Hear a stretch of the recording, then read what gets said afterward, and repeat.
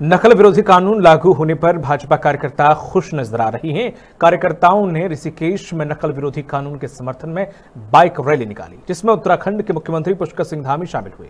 BJP कार्यकर्ताओं ने नकल विरोधी कानून लागू करने पर मुख्यमंत्री का आभार जताया। साथ ही उनका पुष्प वर्षा से स्वागत भी किया।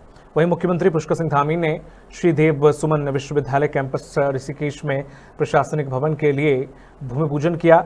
इस मौके पर मुख्यमंत्री धामी ने कहा है कि श्रीदेव सुमन विश्वविद्यालय कैंपस ऋषिकेश ही नहीं, बल्कि आसपास के इलाकों में रहने वाले छात्रों के लिए हमेशा आकर्षण का केंद्र रहा। इस विश्वविद्यालय में ज़्यादा से ज़्यादा कोर्स उपलब्ध कराए जाएँ, इसके लिए सरकार ने प्रयास तेज कर दिए हैं। एम के न्यूज़ की डेस्कपोर्ट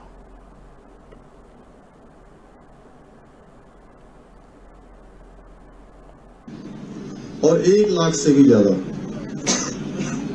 छात्र पुण्य धरा पर स्थित माँ गंगा के इस तट पर इस विश्वविद्यालय के प्रांगण में आकर मैं निश्चित रूप से, मैं कह सकता हूँ कि स्वयं को मैं गौरवान्वित महसूस कर रहा हूँ।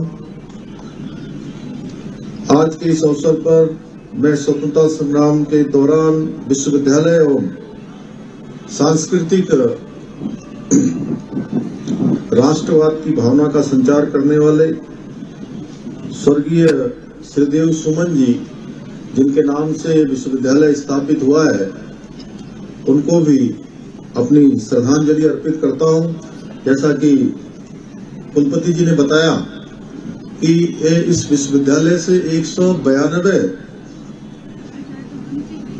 महाविद्यालय और संस्थाएँ चलती हैं, और एक लाख से भी ज़्यादा